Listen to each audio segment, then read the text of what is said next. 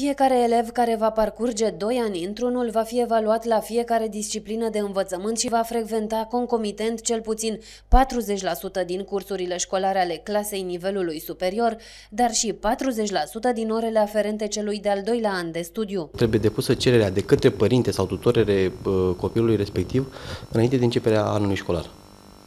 Iar în primul Consiliu Profesoral se dă acceptul dacă copilul poate să urmeze sau nu poate să uh, urmeze această procedură de promovare a doi ani într-unul. Elevii văd această comasare ca pe o posibilitate de a termina mai repede școala. Unii dintre noi am putea învăța mult mai repede și a termina o facultate mult mai ușor. Dar e și destul de greu.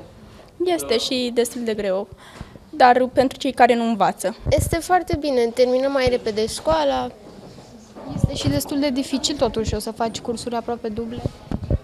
Da, o să fie greu, dar totuși este mai bine. Profesorii spun că toate criteriile par a fi accesibile doar pentru cei care au într-adevăr performanțe în activitatea școlară.